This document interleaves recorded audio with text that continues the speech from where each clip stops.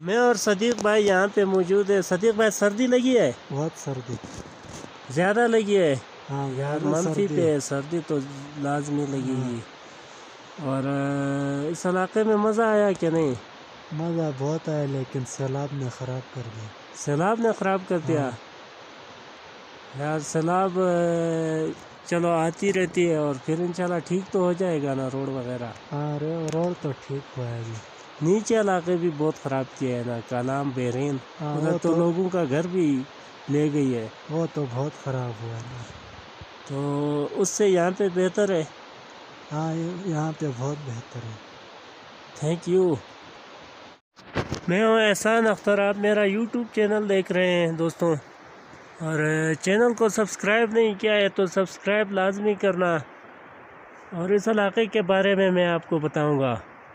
ये जो दरख्त नज़र आ रहा है ये वाला नीला दरख्त ये ये सर्दी में भी यहाँ पे बहुत बर्फ़ पड़ती है ये इसी तरह इसी तरह ये दरख्त जो है बिल्कुल सब्ज़ रहती है ये दरख्त। और बकाया ये दरख्तें सूख जाती है यहाँ पे सर्दी में इस तरफ़ भी देखें आप।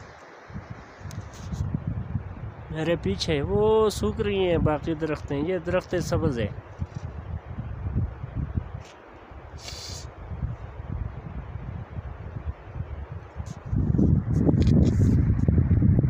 इनसे पत्ते भी गिर गए ये दरख्त बिल्कुल सूख गई है। ये देखें। इसे जूझ की दरख्त कहते हैं, जूझ की।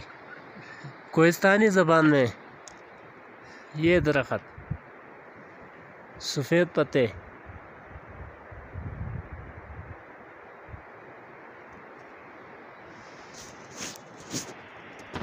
बाकी इस वादी में जो है, सामने एक दो घर, एक दो घरों में फैमिली रह गई है। उन्होंने भी कल परसों जाना है नीचे किसी इलाकों में। यहाँ पूरा ये इलाका जो है, ये खाली हो जाता है। और सर्दी जो है, वो बिल्कुल मनफी पे है। मैंने बड़ा सा कंबल लिया हुआ है ये। और बहुत ज़्यादा सर्दी है। हल्की सी बर्फ़ भी पड़ी है। वो पहाड़ पे नज़र आ रही है, ये वाला।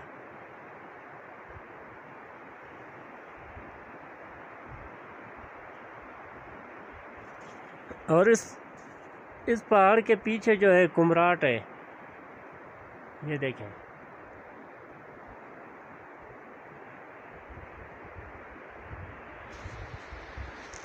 और ये वादी शहबाग जो है, ये सवाद की बिल्कुल आखिरी बाउंड्री है। यहाँ पे सर्दियों में कम से कम पाँच से छः फुट बर्फ़ पड़ता है। तो मिलते हैं किसी नेक्स्ट वीडियो में, दोस्तों।